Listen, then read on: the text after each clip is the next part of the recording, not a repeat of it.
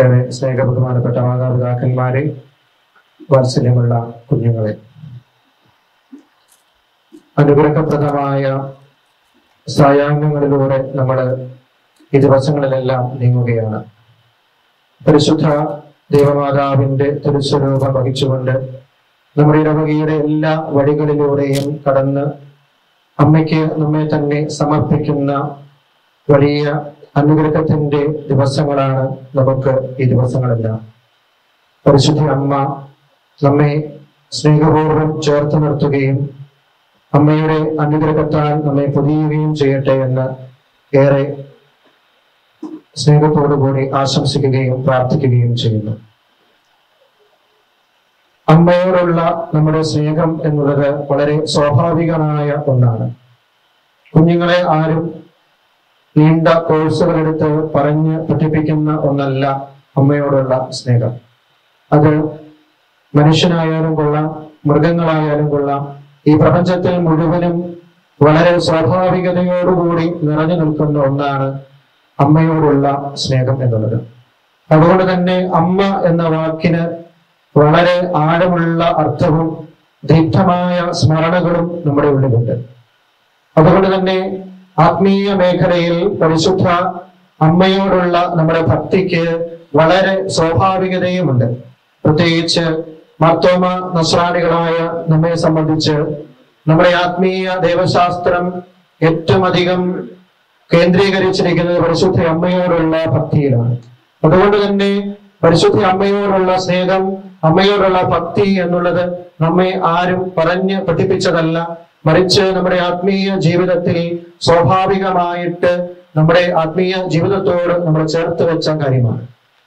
എന്നാൽ നമ്മുടെ ഈ ഇത്തരത്തിലുള്ള പ്രദക്ഷിണങ്ങൾ ആത്മീയമായിട്ടുള്ള നമ്മുടെ ഇത്തരത്തിലുള്ള മുന്നേറ്റങ്ങൾ ഇതെല്ലാം അമ്മയോടുള്ള സ്നേഹത്തിൽ കൂടുതൽ കൂടുതൽ ആഴപ്പെടുവാനായിട്ട് നമ്മെ സഹായിക്കുന്ന ഒന്നാണ്. നമ്മുടെ ഇടവകയെ സംബന്ധിച്ച് ഈ ദിവസങ്ങൾ പരിശുദ്ധ അമ്മയുടെ മുത്തിയമ്മയുടെ തിരുസ്വരൂപം വഹിച്ചുകൊണ്ട് നമ്മുടെ ഇടവകയുടെ എല്ലാ വഴികളിലൂടെയും നമ്മൾ പോകുമ്പോൾ ഇത് വലിയ വളരെ വലിയ ഒരു സംഭവം തന്നെയാണ്. വലിയ ഒരു ഇവന്റ് ആണ്. നമ്മുടെ ഇടവകയെ സംബന്ധിച്ച് ഇത് വലിയ ഒരു ഇവന്റ് ആണ്. ധാരാളം ഇവന്റുകൾ നടക്കുന്ന കാലഘട്ടമാണ് നമ്മുടെ അതുകൊണ്ട് തന്നെ ഇവന്റ് മാനേജ്മെന്റുകാരും ധാരാളമായിട്ട് നമ്മുടെ നാട്ടിലെല്ലാം ഉണ്ട്. പക്ഷേ പല ഇവന്റുകളും എക്സ്പീരിയൻസുകളായിട്ട് മാറാറില്ല. നമ്മൾ എത്രയോ ഇവന്റുകളിൽ ഇതുവരെ പങ്കെടുത്തിട്ടുണ്ടാകാം. പക്ഷെ അതൊന്നും പലപ്പോഴും എക്സ്പീരിയൻസുകളായിട്ട് വളരെ വിരളമായിട്ട് മാറുന്നുള്ളൂ. അതുകൊണ്ട് നമ്മെ സംബന്ധിച്ച് ഈ ഒരു ഇവന്റ് ഒരു എക്സ്പീരിയൻസ് ആയിട്ട് മാറണം. അനുഭവ തലത്തിലേക്ക് ഈ ഒരു പ്രദക്ഷിണങ്ങൾ പ്രാർത്ഥനകൾ അഖണ്ഡ ജപമാലകളെല്ലാം മാറണം. അവിടെയാണ് പരിശുദ്ധ അമ്മയോടുള്ള നമ്മുടെ സ്നേഹം മാതൃഭക്തി അതിന്റെ പ്രായോഗിക തലത്തിലേക്ക് വളരുക. അല്ലാത്ത പക്ഷം വളരെ ഭംഗിയായി വളരെ സിസ്റ്റമാറ്റിക്കായും സുന്ദരമായി സംഘടിപ്പിച്ച ഒരു ഇവന്റ് ആയിട്ട് മാത്രം ഇത് അവസാനിച്ച് അടുത്ത കൊല്ലം ആര് നടത്തണം എന്നുള്ള ചർച്ചയിലേക്ക് നമ്മൾ നീങ്ങും. അതുകൊണ്ട് നമ്മുടെ ജീവിതത്തിൽ ആത്മീയമായിട്ടുള്ള ഒരു വലിയ മാറ്റത്തിന് ആത്മീയമായിട്ടുള്ള ഉന്മേഷത്തിന് ഇത്തരത്തിലുള്ള പ്രദക്ഷിണങ്ങൾ പ്രാർത്ഥനകൾ ജപമാല പ്രാർത്ഥനകൾ എല്ലാം മാറുമ്പോഴാണ് നമ്മൾ ഇത് ഫലദായകമായിട്ട് മാറി എന്ന് മനസ്സിലാക്കുവാനായിട്ട് സാധിക്കുക. അതുകൊണ്ട് തന്നെ ഈ ദിവസങ്ങളെല്ലാം ആത്മീയമായ ഉണർവിന്റെ ദിവസങ്ങളായി മാറട്ടെ എന്ന് ഞാൻ ആശംസിക്കുകയാണ്. നമ്മൾ ഇന്ന് വായിച്ചു കേട്ട സുവിശേഷ ഭാഗം വളരെ സുപരിചിതമായിട്ടുള്ള ഭാഗമാണ്. പരിശുദ്ധ അമ്മയെ നമ്മുടെ സുവിശേഷത്തിൽ പ്രത്യേകമാവിധം കാണുന്ന ഭാഗമാണ്. കാനായിലെ കല്യാണ വിരുന്നിൽ പരിശുദ്ധ അമ്മയുടെ ശക്തമായ ഇടപെടൽ നടക്കുന്നതിനെ കുറിച്ച് നമ്മൾ വായിക്കുന്ന ഭാഗമാണ്.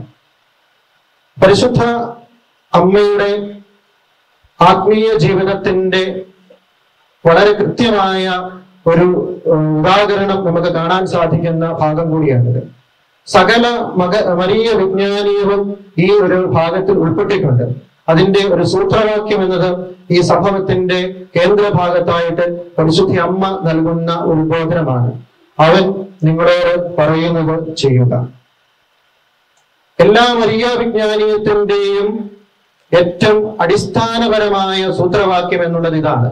അവൻ നിങ്ങളോട് പറയുന്നത് ചെയ്യുക. പരിശുദ്ധി അമ്മയുടെ പ്രത്യക്ഷീകരണങ്ങളെ കുറിച്ച് ഈ ദിവസങ്ങളിലെല്ലാം നമ്മൾ ചിന്തിക്കുകയും കേൾക്കുകയും പഠിക്കുകയും ചെയ്തുകൊണ്ടിരുന്നു. ഇവിടെയെല്ലാം ഉള്ള കേന്ദ്രഭാവം എന്നുള്ളത് ഈശോ നിങ്ങളോട് പറഞ്ഞത് പറയുന്നത് നിങ്ങൾ ചെയ്യുവിൻ എന്നുള്ളതാണ്. അതുകൊണ്ട് തന്നെ പരിശുദ്ധ അമ്മയുടെ ഒരേ ഒരു ഉദ്ബോധനം പരിശുദ്ധ അമ്മയുടെ ഒരേ ഒരു എക്സൾട്ടേഷൻ എന്നുള്ളത് ഇത് മാത്രമാണ് അവൻ നിങ്ങളോട് പറയുന്നത് ചെയ്യുക. പരിശുദ്ധ അമ്മയ്ക്ക് ഇത് പറയാനുള്ള ധാർമ്മികമായ ബലമുണ്ട്. നമ്മുടെ ജീവിതത്തിൽ പലപ്പോഴും നമ്മൾ ജാഗ്രതയോടുകൂടി നിന്നു പോകുന്ന സമയങ്ങളാണ് പറയുവാൻ ധാർമ്മിക ബലം നഷ്ടപ്പെടുമ്പോൾ. കാരണം നമ്മൾ ചെയ്യാത്ത ഒരു കാര്യം മറ്റൊരാളോട് പറഞ്ഞ് പഠിപ്പിക്കുക എന്നുള്ളത് വളരെ ബുദ്ധിമുട്ടാർന്ന ഒരു കാര്യമാണ്. പ്രത്യേകിച്ച് അച്ഛന്മാരെ സംബന്ധിച്ച് അധ്യാപകരെ സംബന്ധിച്ച് മാതാപിതാക്കളെ സംബന്ധിച്ച് ഇവരുടെ നമ്മുടെ എല്ലാം ജീവിതത്തിൽ നമ്മൾ അത്തരത്തിൽ പലപ്പോഴും സ്തംഭിച്ച് നിന്ന് പോയിട്ടുള്ള അവസരങ്ങൾ ഉണ്ടാകാം കാരണം ഞാൻ ചെയ്യാത്ത ഒരു കാര്യം മറ്റൊരാളെ പറഞ്ഞ് പഠിപ്പിച്ച് ചെയ്യുക മാതാപിതാക്കളോട് മക്കൾ തിരിച്ചു ചോദിക്കും അധ്യാപകരോട് കുട്ടികൾ തിരിച്ചു ചോദിക്കും ഇടവക്കാര് അച്ഛന്മാരോട് തിരിച്ചു ചോദിക്കും. അതുകൊണ്ട് പരിശുദ്ധ അമ്മയ്ക്ക് വളരെ നൂറ് ശതമാനം ഉറപ്പോടുകൂടി ഇത് പറയാനായിട്ടുള്ള ഒരു ധാർമ്മികമായ ധാർമ്മിക ബലം ഉണ്ടായിരുന്നു. കാരണം ദൈവം അരുളി ചെയ്തത് പൂർണ മനസ്സോടുകൂടി സ്വീകരിച്ചവളാണ് പരിശുദ്ധി അമ്മ. അത് പരിശുദ്ധി അമ്മയുടെ ചരിത്രത്തിന്റെ ആദ്യ നിമിഷം മുതൽ നമ്മൾ കാണുന്നുണ്ട്. മലാഖ പ്രത്യക്ഷപ്പെട്ട് പരിശുദ്ധി അമ്മയോട് പറഞ്ഞപ്പോൾ തിരിച്ച് ചോദ്യം ചോദിക്കുന്നുവെങ്കിലും എങ്കിലും ദൈവസന്നിധിയിൽ പൂർണ മനസ്സോടുകൂടി ഫിയാത്ത് മൂടിയവളാണ് പരിശുദ്ധി അമ്മ. അത് ഈശോ തന്നെ വളരെ കൃത്യമായിട്ട് സർട്ടിഫൈ ചെയ്യുന്നുമുണ്ട്. ദൈവത്തിന്റെ ഇഷ്ടം നിറവേറ്റുന്നവളാണ് എന്റെ അമ്മ എന്ന് ഈശോ വളരെ കൃത്യമായിട്ട് അത് അടിവരയിട്ട് പറയുകയും ചെയ്യുന്നുണ്ട്. അതുകൊണ്ട് പരിശുദ്ധ അമ്മയ്ക്ക് നമ്മുടെ എല്ലാം ജീവിതത്തിൽ ഇന്നും പറയാനുള്ള ഒരേ ഒരു കാര്യം ഇത് മാത്രമാണ്. അവൻ നിങ്ങളോട് പറയുന്നത് ചെയ്യുക. അടിസ്ഥാനപരമായിട്ട് അത് ദൈവവചനത്തിനനുസൃതമായ ഒരു ജീവിതം നമ്മളെ നയിക്കുക എന്നുള്ളതാണ്. നമ്മെ സംബന്ധിച്ച് പലപ്പോഴും നമ്മുടെ ആത്മീയ ജീവിതം ഒരു കൊമേഴ്ഷ്യൽ ബന്ധമാണ് പലപ്പോഴും ഉള്ളത്. ഒരു വ്യവസായിക ബന്ധം എന്ന് പറഞ്ഞാൽ എന്തായിരിക്കാം? നമ്മൾ ഒരു സാധനം അങ്ങോട്ട് കൊടുത്താൽ അല്ലെങ്കിൽ പണം അങ്ങോട്ട് കൊടുത്താൽ തത്തുല്യമായിട്ടുള്ള ഒരു കാര്യം ഇങ്ങോട്ട് കിട്ടണം. അതാണ് ഒരു കൊമേഴ്ഷ്യൽ റിലേഷൻഷിപ്പ് എന്ന് പറഞ്ഞാൽ. അതിന് വലിയ ആഴമുള്ള റിലേഷൻഷിപ്പ് അല്ല. കൊടുക്കുന്ന പൈസയ്ക്ക് അനുസരിച്ച് തത്തുല്യമായിട്ടുള്ള സംഗതി കിട്ടിക്കഴിഞ്ഞാൽ അതോടുകൂടി അവസാനിക്കുന്ന ഒരു ബന്ധം മാത്രമേ ഉള്ളൂ. പലപ്പോഴും നമ്മുടെ ആത്മീയ ജീവിതത്തിൽ വരാവുന്ന ഒരു അപജയമാണ്. നമ്മുടെ ആത്മീയ ജീവിതങ്ങളൊക്കെ ഒരു കൊമേഴ്ഷ്യൽ റിലേഷൻഷിപ്പിലേക്ക് മാത്രം ഒതുങ്ങിപ്പോകുന്നു അങ്ങോട്ട് ആവശ്യമുള്ളപ്പോൾ പ്രാർത്ഥനകൾ നേർച്ചകൾ വെടിവതിരികൾ നേരും. അതിന് തത്തുല്യമായ അനുഗ്രഹം ഇങ്ങോട്ട് കിട്ടുമ്പോൾ നമ്മുടെ ബന്ധം തൽക്കാലത്തേക്ക് നമ്മൾ അവസാനിപ്പിക്കുന്നു. വീണ്ടും അടുത്ത ആവശ്യങ്ങൾ വരുമ്പോൾ വീണ്ടും നമ്മൾ മെഴുകുതിരികളും പ്രാർത്ഥനകളുമായിട്ട് ചൊല്ലുന്നു. വീണ്ടും നമുക്ക് അനുഗ്രഹങ്ങൾ കിട്ടുന്നു. ഇങ്ങനെ കൊടുക്കൽ വാങ്ങലുകളുള്ള ഒരു വ്യവസായ ബന്ധം മാത്രമായിട്ട് നമ്മുടെ ആത്മീയ ജീവിതത്തിൽ ഒതുങ്ങിപ്പോകാനുള്ള ഒരു വലിയ പ്രലോഭനം നമുക്കുണ്ടായേക്കാം. അവിടെയാണ് പരിശുദ്ധി അമ്മ നമ്മോട് പറയുന്നത്. അവൻ പറയുന്നത് കേൾക്കാൻ അവൻ പറയുന്നത് ജീവിതത്തിൽ പ്രാവർത്തികമാക്കാൻ എന്ന് നമ്മൾ ആരംഭിക്കുന്നു. അവിടെ നമുക്ക് തീഷ്ണമായ വ്യക്തിപരമായ ബന്ധങ്ങൾ ആരംഭിക്കുകയാണ്. നമ്മുടെ ആത്മീയ ജീവിതത്തിന്റെ അടിസ്ഥാനപരമായിട്ടുള്ള ബന്ധം വ്യക്തിപരമായിട്ടുള്ള ഒരു ബന്ധമാണ്. ദൈവത്തെ വ്യക്തിപരമായിട്ട് നമ്മൾ അനുഭവിക്കുമ്പോഴാണ് നമുക്ക് നമ്മുടെ ആത്മീയതയ്ക്ക് ആഴമുണ്ടാവുക. അല്ലാത്ത പക്ഷം നമ്മുടെ ആത്മീയതകളെല്ലാം പെരിഫറിൽ ഇങ്ങനെ പുറത്ത് ഉപരിതലത്തിൽ മാത്രം ഒതുങ്ങി നിന്ന് അവസാനിക്കാനുള്ള വലിയ സാധ്യതകളുണ്ട്.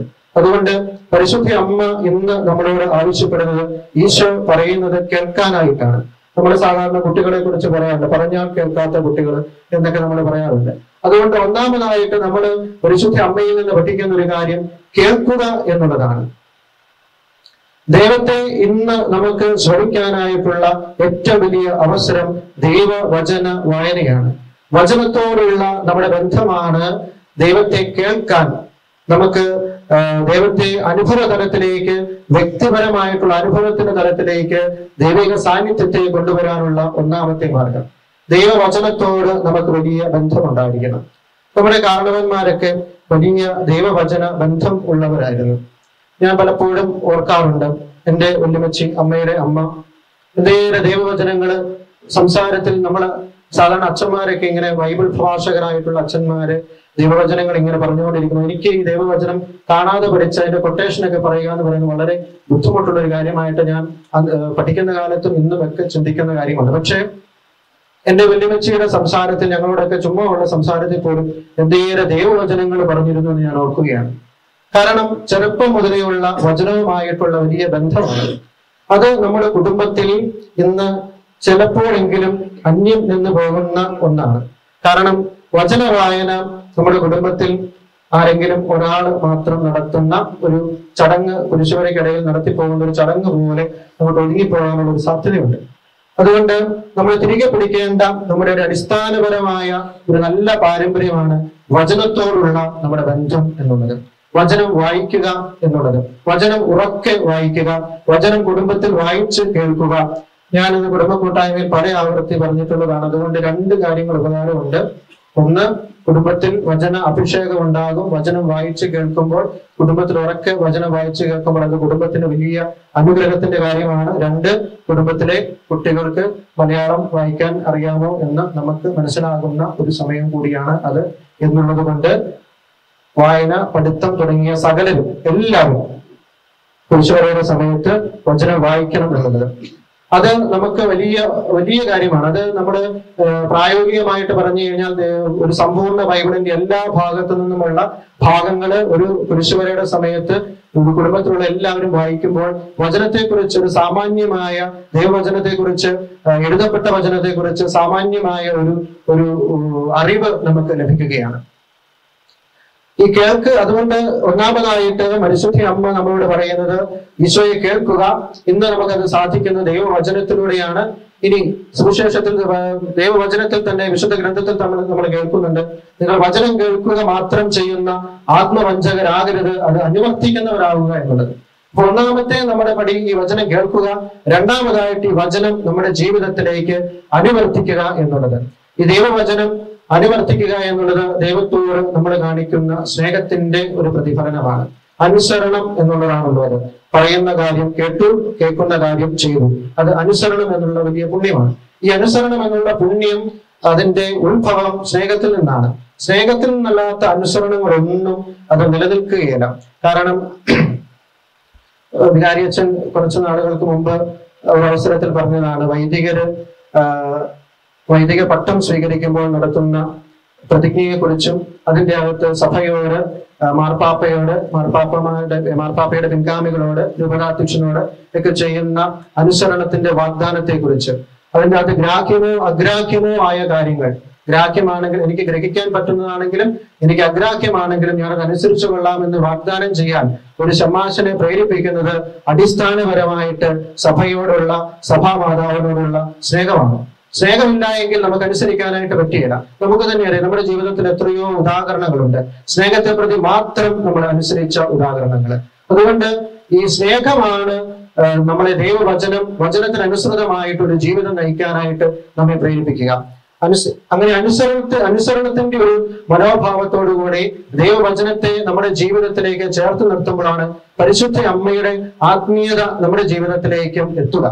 അല്ലാത്ത പക്ഷം നമ്മളിങ്ങനെ വളരെ ഉപരിതലത്തിൽ ഉപരിപ്രയമായിട്ടുള്ള ഒരു ആത്മീയത കൊണ്ടു നടക്കുന്നവരായിട്ട് മാത്രം പോകും. നമ്മൾ നന്നായിട്ട് പ്രദക്ഷിണങ്ങൾ പെരുന്നാളുകൾ അങ്ങനെയുള്ള കാര്യങ്ങളെല്ലാം സംഘടിപ്പിക്കും. വളരെ കാര്യങ്ങളെല്ലാം വളരെ ഭംഗിയായിട്ട് നടക്കും. പക്ഷെ എല്ലാത്തിന്റെയും അവസാനം സ്വസ്ഥമായിട്ട് നമ്മൾ ഇരുന്ന് ചിന്തിച്ചു കഴിയുമ്പോൾ ഇതുകൊണ്ട് എന്റെ ആത്മീയ ജീവിതത്തിൽ എന്ത് മാറ്റമുണ്ടായി എന്ന് ചോദിക്കുമ്പോൾ ചിലപ്പോൾ നിരാശയോടുകൂടി നമ്മൾ ശിരസ് കുമ്പിട്ട് നിൽക്കേണ്ടതായിട്ട് വരും അതുകൊണ്ട് നമ്മുടെ ജീവിതത്തിലേക്ക് ഈ അനുസരണം മാതാവിന്റെ അനുസരണം എങ്ങനെ നമ്മുടെ ജീവിതത്തിലേക്ക് നമ്മൾ കൂട്ടിക്കൊണ്ട് വരുന്നുണ്ട് എന്ന് ആത്മശോധന ചെയ്യേണ്ട ഒരു സമയം കൂടിയാണിത്.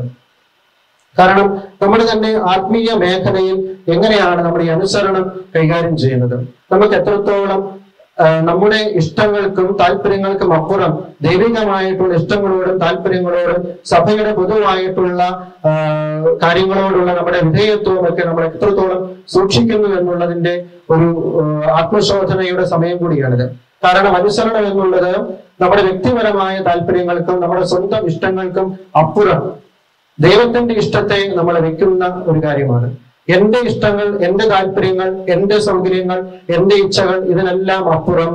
പൊതുവായിട്ട് ദൈവത്തിന്റെ ഇഷ്ടത്തിന് ഞാൻ എന്റെ മനസ്സിന് പൂർണമായിട്ട് കീഴ്വടങ്ങുന്നു എന്നുള്ളതാണ് അനുസരണത്തിന്റെ അടിസ്ഥാനപരമായിട്ടുള്ള കാര്യം. അതുകൊണ്ട് നമ്മുടെ ചെറിയ നമ്മുടെ ജീവിതത്തിലെ നമ്മുടെ ചെറിയ ചെറിയ കാര്യങ്ങളെ കുറിച്ച് മാത്രം നമ്മൾ ചിന്തിച്ചാൽ മതി. നമ്മുടെ ആത്മീയ ജീവിതത്തിൽ നമ്മുടെ ആത്മീയ ജീവിതത്തിലെ കേന്ദ്രം എന്ന് പറയുന്നത് വിശുദ്ധ കുർബാനയാണ്. വിശുദ്ധ കുർബാനയിൽ നമ്മൾ എത്രത്തോളം അനുസരണയുള്ളവരാണ് എന്ന് നമ്മൾ ആത്മശോധന ചെയ്യുന്ന നല്ലതാണ് അതിന്റെ ഒന്നാമത്തെ കാര്യം തന്നെ ചിലപ്പോൾ വിശുദ്ധ കുർബാനയ്ക്ക് എല്ലാ പള്ളികളിലും ഒരു സമയ ക്രമീകരണം വെക്കും. അത് അത് അടിസ്ഥാനപരമായിട്ട് വെക്കുന്നത് ഒരു സമൂഹമാണ് എന്നുള്ളതാണ് സമയ ക്രമീകരണങ്ങളെല്ലാം ചിട്ടയ്ക്ക് വേണ്ടിയും അച്ചടക്കത്തിന് വേണ്ടിയും ഒരു സമൂഹത്തിന്റെ നന്മയ്ക്ക് വേണ്ടിയുമാണ്. അപ്പോൾ ഈ സമയ ക്രമീകരണങ്ങൾ വെക്കുമ്പോൾ ആ സമയ ക്രമീകരണത്തോട് നമ്മൾ കാണിക്കുന്ന ഒരു വിധേയത്വമുണ്ട്. അത് നമ്മുടെ ആത്മീയതയുടെ ഒരു ഭാഗം തന്നെയാണ്. ഇതൊന്നും ആത്മീയത എന്ന് പറയുന്നത് പള്ളിക്കുള്ളിൽ നമ്മൾ കയറിയിരിക്കുമ്പോൾ മാത്രം സംഭവിക്കുന്ന എന്തോ പ്രത്യേകതരമായിട്ടുള്ള ഒരു കാര്യമല്ല. അത് വേ ഓഫ് ലൈഫാണ് ജീവിത ക്രമമാണ്. നമ്മുടെ ജീവിതത്തെ ആകമാനം വലയം ചെയ്ത് നിൽക്കുന്ന ഒന്നാണ്. അതുകൊണ്ട് തന്നെ നമ്മുടെ നമ്മൾ കാണിക്കുന്ന ആഭിമുഖ്യങ്ങളെല്ലാം നമ്മുടെ ആത്മീയതയുടെ തന്നെ ഭാഗമാണ്. അതുകൊണ്ട് വിശുദ്ധ കുർബാനയ്ക്ക് നമ്മുടെ സമയത്തിനെത്തുക എന്ന് പറയുന്നത് നമ്മുടെ അടിസ്ഥാനപരമായ ആത്മീയ ഭാവം തന്നെയാണ്. അനുസരണത്തിന്റെ ഒരു ഭാവം തന്നെയാണ്. വിശുദ്ധ കുർബാനയിലുള്ള എന്റെ സജീവ പങ്കാളിത്തം എന്ന് പറയുന്നതും ഈ അനുസരണത്തിന്റെയും ആത്മീയതയുടെ ഭാഗം തന്നെയാണ്. അതുകൊണ്ടാണ് വത്തിക്കാൻ കൗൺസിൽ ശക്തമായിട്ട് പറയുന്നത് active participation in the liturgy എന്നുള്ളത്. ആക്റ്റീവായിട്ട് പാർട്ടിസിപ്പേറ്റ് ചെയ്യുക. നമുക്ക് ഇന്നാക്റ്റീവ് ആകാം ആക്റ്റീവ് ആകാം. ആക്റ്റീവ് ആയിട്ടുള്ള ഒരു പാർട്ടിസിപ്പേഷൻ ആണ് സഭ സഭ മക്കളിൽ നിന്ന് പ്രതീക്ഷിക്കുന്നത്. അതുകൊണ്ട് നമ്മുടെ വിശുദ്ധ കുർബാനയിലുള്ള നമ്മുടെ പങ്കാളിത്തത്തിൽ നമ്മൾ കാണിക്കുന്ന ആക്റ്റീവ്നെസ് എന്നുള്ളത് നമ്മുടെ അനുസരണത്തിന്റെ തന്നെ ഭാഗമാണ്. കുർബാന പുസ്തകം നമ്മൾ ഉപയോഗിക്കുന്നതോ വിശുദ്ധ കുർബാനയിലെ ക്രമങ്ങൾ നമ്മൾ പാലിക്കുന്നത് നമ്മൾ ഇരിക്കാൻ പറ്റുമ്പോൾ ഇരിക്കാനുള്ള സമയങ്ങൾ ഇരിക്കുന്നത് നിൽക്കാനുള്ള സമയങ്ങളിൽ നിൽക്കുന്നത് നമ്മൾ കുട്ടിന്മേലായിരിക്കേണ്ട സമയങ്ങളിൽ നമ്മുടെ ആരോഗ്യം സമ്മതിക്കുന്നിടത്തോളം നമ്മൾ ഇതെല്ലാം ചെയ്യുന്നത്. ഇതെല്ലാം നമ്മുടെ ആത്മീയതയുടെ ഭാഗം തന്നെയാണ്. ഇതൊക്കെ വളരെ നിസ്സാരമായ കാര്യങ്ങളായിട്ട് ചിലപ്പോഴെങ്കിലും നമുക്ക് തോന്നിയേക്കാം. പക്ഷേ വിശുദ്ധി എന്നുള്ളത് നിസ്സാര കാര്യങ്ങളിൽ നമ്മുടെ ശ്രദ്ധയാണ് എന്നുള്ളത് നമുക്ക് മറക്കാതിരിക്കാം. അതുപോലെ തന്നെ വിശുദ്ധ കുർബാനയോട് നമ്മൾ കാണിക്കുന്ന ഭക്തി വിശുദ്ധ കുർബാനയുടെ സ്വീകരണത്തെ കുറിച്ച് സഭ പഠിപ്പിക്കുന്ന കാര്യങ്ങൾ ഉൾക്കൊള്ളാനുള്ള നമ്മുടെ ഹൃദയ വിശാലത വിശുദ്ധ കുർബാന യോഗ്യതയോടുകൂടി സ്വീകരിക്കാനായിട്ട് നമുക്ക് ഒരുക്കം വേണമെന്ന് സഭ പഠിപ്പിക്കുമ്പോൾ കുംഭസാരം എന്ന വിശുദ്ധ ഉദാശയോടുള്ള നമ്മൾ തുറവി ഇതെല്ലാം നമ്മുടെ അനുസരണം എന്നുള്ള വലിയ പുണ്യത്തിന്റെ വിശാലമായ അർത്ഥത്തിലേക്ക് പ്രവേശിക്കുക. അതുകൊണ്ട് പരിശുദ്ധ അമ്മയോട് ചേർന്നുകൊണ്ട് നമ്മൾ ഈ നടപ്പ് നടക്കുമ്പോൾ ഇത് ഒരു പാട് നടപ്പാകാതിരിക്കാൻ നമുക്ക് ദൈവസന്നിധിയിൽ പ്രത്യേകമായിട്ട് പ്രാർത്ഥിക്കാം. നമ്മുടെ ജീവിതത്തിൽ മാറ്റങ്ങൾ വരുത്തേണ്ട മേഖലകൾ ഉണ്ടാകാം. പരിശുദ്ധി അമ്മ നല്ല അമ്മയാണ്. അമ്മ നമുക്ക് വേണ്ട കറക്ഷൻസ് നല്ല രീതിക്ക് നൽകാനായിട്ട് സ്നേഹത്തോടുകൂടി നൽകുന്ന അമ്മയാണ്. അതുകൊണ്ട് അമ്മയുടെ സന്നിധിയിൽ നമ്മൾ ഈ രാത്രിയും നാളെ പകലും ഒക്കെ ആയിരിക്കുമ്പോൾ അമ്മയുടെ സന്നിധിയിലായിരുന്നു കൊണ്ട് ജപമാലകൾ നമ്മൾ അഖണ്ഡമായിട്ട് ചെല്ലുമ്പോൾ നമുക്ക് നമ്മുടെ ജീവിതത്തിലേക്ക് ഈശോ പറയുന്നത് കേൾക്കാൻ ഈശോ പറയുന്നത് അനുവർത്തിക്കാൻ ഇന്ന് ഈശോയുടെ സ്ഥാനത്ത് നിന്നുകൊണ്ട് പറയുന്നവര് എന്താണ് പറയുന്നത് സഭയുടെ ശബ്ദമാണ് എന്നുള്ള വലിയ ബോധ്യത്തോടുകൂടി നമ്മുടെ ജീവിതത്തിലേക്ക് സ്വീകരിക്കാൻ നമുക്ക് സാധിക്കണം. അതിന് മാതാവിന്റെ സന്നിധിയിൽ നമുക്കായിരിക്കാം. മാതാവിനോട് നമുക്ക് പ്രാർത്ഥിക്കാം. പരിശുദ്ധി അമ്മ നമ്മെ ശക്തിപ്പെടുത്തും. അമ്മയ്ക്ക് നമ്മെ തന്നെ പൂർണമായിട്ട് സമർപ്പിക്കാം. അമ്മയ്ക്ക് നമ്മളെ സഹായിക്കാനായിട്ട് പറ്റും. അമ്മ നമ്മുടെ ആശ്രയമാണ് എന്നുള്ള വലിയ ബോധ്യത്തോടു കൂടി നമുക്ക് പ്രാർത്ഥിക്കാം. ദൈവം നമ്മെ ഏവരെയും അനുഗ്രഹിക്കട്ടെ.